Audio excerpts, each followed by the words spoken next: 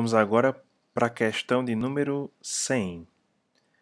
Numa escola de música, 65% das pessoas matriculadas estudam teclado. Então vamos aproveitar aqui essa região que a gente já fez aqui, ó. Nessa linha aparece todo mundo que uh, estuda teclado, tá certo? E as restantes estudam violão. Então teclado aqui em cima, violão aqui embaixo, perfeito? Então teclado nessa linha de cima, violão daqui na linha de baixo. Se 65% das pessoas matriculadas estudam teclado, então nessa linha daqui de cima devem aparecer 65% das pessoas.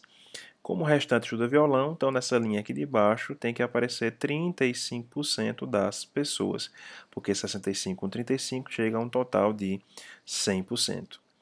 Sabe-se que 60% das pessoas matriculadas são do sexo masculino. Então, pessoal, se 60% das pessoas são do sexo masculino, que está nessa coluna aqui, com certeza 40% são do sexo feminino, perfeito? Porque os dois juntos devem dar 100%. Uh, ah, e as que são do sexo feminino, que estudam violão, então quem é que, tá, quem é, que é do sexo feminino e estuda violão?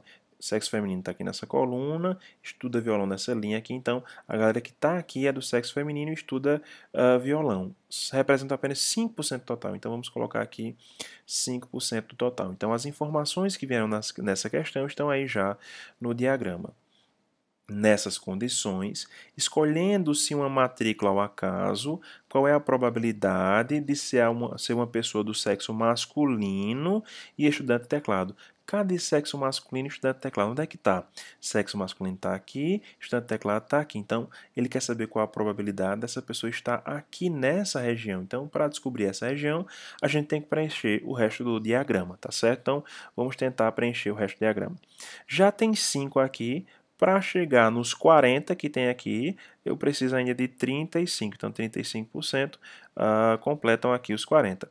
Já tem 35, para chegar nos 65 faltam 30%.